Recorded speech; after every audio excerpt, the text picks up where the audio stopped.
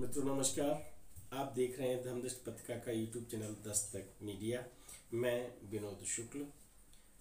आज हम ऐसे प्रसंग पर बात करने जा रहे हैं, जहाँ हृदय का एक अंश अपनी माँ से मिला है। आपको याद होगा कि 26 अप्रैल 2021 को आम दिनों की तरह वो दिन भी था और शाम होते होते दुखों का पहाड़ टूट पड़ा था। बाबा नीम करोली के छोटे सुपुत्र धर्म नारायण जी शर्मा, जिन्हें हम सब बहुत प्यार से बाबूजी कहते हैं, अपनी अनंत यात्रा पर निकल। मित्रों, फिर से एक बार, क्योंकि हमारे संस्कार होते हैं और उन्हीं संस्कारों में हमारे यहाँ अस्त विसर्जन का कार्यक्रम होता है और वो इसलिए होता है, बहुत सारे तथ्य हैं उसमें, लेकिन मेरा जो मानना है, जिन्हें हमने माँ कहा है? उन्हीं में समा जाना है। क्योंकि अंतिम संस्कार हुआ, धरती माँ की गोदी में हुआ, यमुना मैया के किनारे हुआ तो धरती माँ से मिलन हुआ, यमुना मैया से मिलन हुआ, और 19 जून गंगा दशहरा। गंगा दशहरा कहते ना।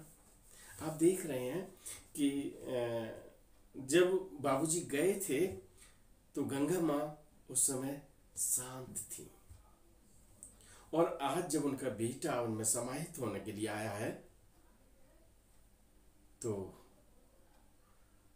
उनकी बेग की प्रबलता बढ़ गई है। आप देख रहे हैं ना पीछे? आज गंगा दशहरा के दिन, रामायण रचने वाले गोस्वामी तुलसीदास की जन्म स्थली जनपद कासगंज में सोरों तक पड़ता है। पावन तट पर बाबूजी का मिलन गंगा मैया से हो रहा है। आप उस समय के दृश्य देख सकते हैं। वहाँ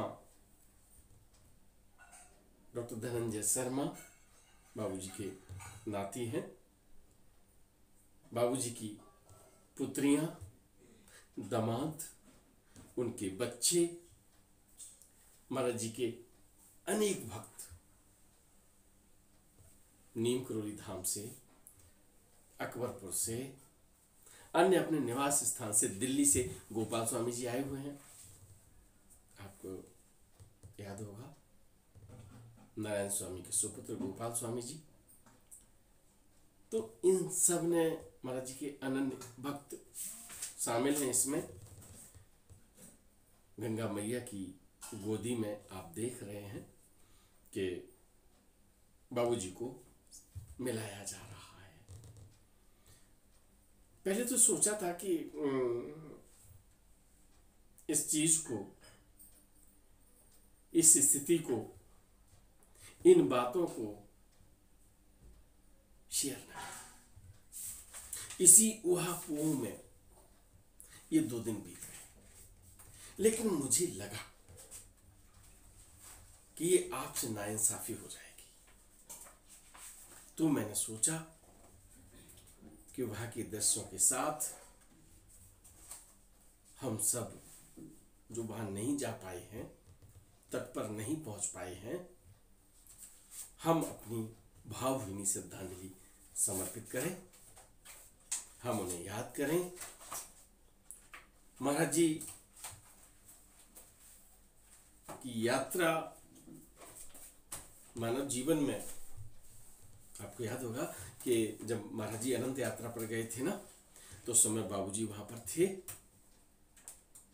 और आज बाबूजी माँ की गोदी में जब माँ के आंचल में जब मातत्व की छाया पा रहे हैं, मातत्व सुख ले रहे हैं तो उनके परिजन रिश्तेदार महाराज जी के अनन्य भक्त वहाँ पर मौजूद हैं। और अगर ये दृश्य मैं आपको नहीं दिखाता तो संभवतः मैं तो उसी होता ना आपका। तो ये सब सोचकर मैंने ये दृश्य इस आयोजन में, माँ के मिलन में आप सबको सम्मिलित किया है। बाबूजी से संबंधित ढेर सारी बातें हैं, बहुत सारी बातें हमारे संज्ञान में आई हैं, जो महाराज जी के साथ लोग रहे, भक्त रहे, जो बाबूजी के साथ रहे, उनके विशेष अनुभव हैं।